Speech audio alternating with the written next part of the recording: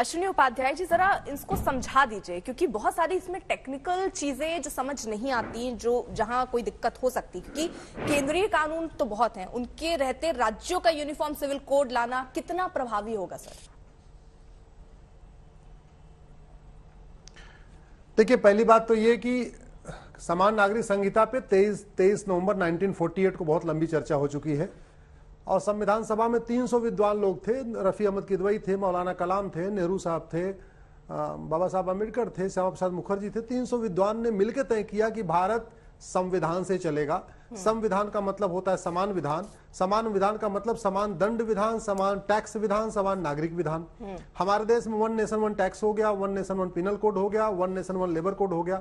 Unfortunately इस पे पिछले पचहत्तर साल में गंभीरता के साथ काम नहीं हुआ। अब कम से कम काम हो रहा है इसके इसलिए मैं इसका स्वागत करता हूँ।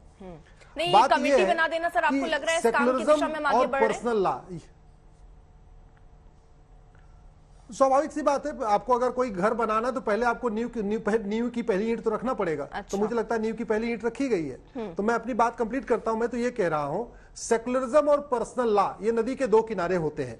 जो देश सेकुलर होता है वहाँ पर्सनल लॉ नहीं होता। जहाँ जहाँ पर्सनल लॉ होता है वो देश सेकुलर नहीं होता। हम्म। हम कहते हैं इस देश को सेकुलर लॉ लेकिन पर्सनल लॉ के लॉ ढोल रहे। हम कह रहे हैं देश में संविधान है। संविधान का मतलब होता है समान विधान लेकिन देश देश में बहुविधान चल रहा है। हिंदू का अलग विधान मुस्लिम का अलग विधान पारसी का अलग विधान ईसाई का अलग विधान।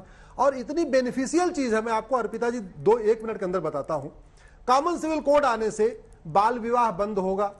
सबको स्वागत करना चाहिए। कॉमन सिविल कोड आने से बहुविवाह चार शादी वाला सिस्टम खत्म होगा। सबको स्वागत करना चाहिए। कॉमन सिविल कोड होने से एज ऑफ़ मैरिज लड़के लड़की की शादी के ऊपर बराबर हो जाएगी। इसमें क्या दिक्कत है? कॉमन सिविल कोड आने से ground of divorce procedure of divorce सबका तलाक लेने का तरीका एक हो जाएगा। इसमें क्या दिक्कत है? सबको स्वागत करना चाहिए। कॉमन सिविल कोड आने से गुजारा भत्ता सबको मिलेगा। तो स्वागत ही योग्य कदम है। कॉमन सिविल कोड आने से गोद लेने का अधिकार, बच्चे के भरण पोषण का अधिकार देश की सभी बहन बेटियों को मिलेगा। ये तो स्वागत करना चाहिए। कॉमन सिविल कोड आने से प्रॉपर्टी का राइट विरासत का अधिकार, वसीयत का अधिकार देश की सभी बहन बेटियों को एक समान मिल जाएगा। तो स्वागत करना चाहिए। अभी आज की डेट में क्या हो रहा है?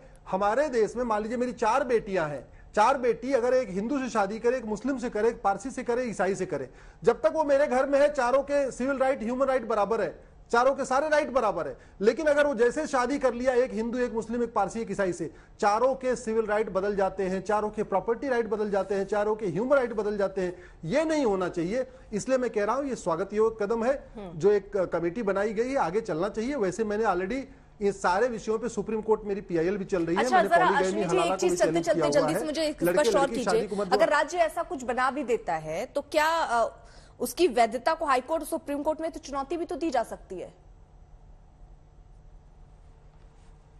नहीं नहीं चुनौती तो देखिए चुनौती पीआईएल फ़ाइल तो आदमी किसी विषय पे कर सकता है सीए के खिलाफ ढाई सौ पीएल फ़ाइल हो गई है लोग पीएल फ़ाइल कर देते हैं। हम्म। लेकिन मेरा यह कहना है कि इसको सुप्रीम कोर्ट इसलिए एंटरटेन नहीं करेगा कि नौ जजमेंट है सुप्रीम कोर्ट के। हम्म। नौ जजमेंट हम्म। नौ जजमेंट में सुप्रीम कोर्ट कह चुका है कि भैया कॉमन सिविल कोड ले आओ कॉमन सिविल कोड ले आओ। ये पर्सनल लॉ से बहुत समस्या हो रही है। पर्सनल लॉ से मुकदमों मुकदमों को निपटाना बड़ा मुश्किल हो जाता है। भाई दिक्कत ये होती है कि अगर महिला हिंदू है और पुरुष मुस्लिम या पुरुष इसका वाइस वर्षा है। अब वो दोनों अगर आ गए कोर्ट में तो बड़ी दिक्कत हो जाती है उन मुकदमों को डिसाइड करना बड़ा मुश्किल हो जाता है। इसलिए मैं कह रहा हूँ कि इस देश में चूँकि सारी चीज़ें कॉमन है और समता समानता की बात तो सब लोग करते हैं तो अनफॉर्चुनेटली जो लोग समता की बात करते हैं समानता लेकिन अश्विनी जी तो डिपेंड करेगा राज्यों पे ना कौन सा राज्य इसको बनाना चाह रहा है नहीं बनाना चाह रहा है? मान लीजिए कल को ये ड्राफ्ट की ये कमेटी की बात हुई मान लीजिए इस पर बीजेपी आगे भी बढ़ जाए कांग्रेस नहीं आगे बढ़ रही अपने राज्यों में तो कैसे समानता आएगी सर? नहीं अल्टीमेटली देखिए ये राज्यों से शुरू होकर पहुंचेगा तो संसद तक केंद्र तक पहुंचेगा अल्टीमेटली जब हम इस देश में चाहते हैं कि देश को सबको बराबर अधिकार मिले तो स्वाभाविक सी बात है इसको केंद्र तो लाना पड़ेगा हाँ। और एक बात मैं ज़रूर अर्पिता जी कहना चाहूँगा हम्म। कॉमन सिविल कोड से हिंदू जैन बौद्ध सिख को कोई फ़ायदा नहीं है। क्योंकि जो हिंदू मैरिज एक्ट है 1955 का वो लगभग लगभग महिला पुरुष को बराबर मानता है कोई भेदभाव नहीं करता। तो कॉमन सिविल कोड का जो सबसे बड़ा जो बेनिफिट मिलेगा हमारी मुस्लिम बेटियों को मिलेगा जिनकी शादी की उम्र कम है जिनको गुजारा भत्ता मिलता ही नहीं है जिनका तलाक आज भी कुरियर के ज़रिए पोस्ट के ज़रिए चिट्ठी के ज़रिए व्हाट्सएप के ज़रिए आज भी हो रहा है। है। काम उनको उनको जो है बच्चा गोद लेने का अधिकार नहीं है उनको जो है का अधिकार नहीं है उनको विरासत का अधिकार नहीं है उनको वसीयत का अधिकार नहीं है। ठीक ठीक समझ आ गया। सर अब्दुल मनन जी क्यों महिलाओं के अधिकार को छीनने का प्रयास किया जा रहा है? आप लोग तो मुस्लिम नेता बनते हैं मुस्लिमों के हितों की बात करते हैं तो क्या पुरुषों के ही हित की बात है? महिलाओं के हितों में आप खड़े नहीं होना चाहते? महिलाओं के हित में तो बीजेपी नहीं खड़ा होना खड़ी होना चाहती हम्म। क्योंकि ट्राइबल्स में बहु बहुपति विवाह है द्रौपदी सिस्टम इतना दिया जाता है शादी का हम्म।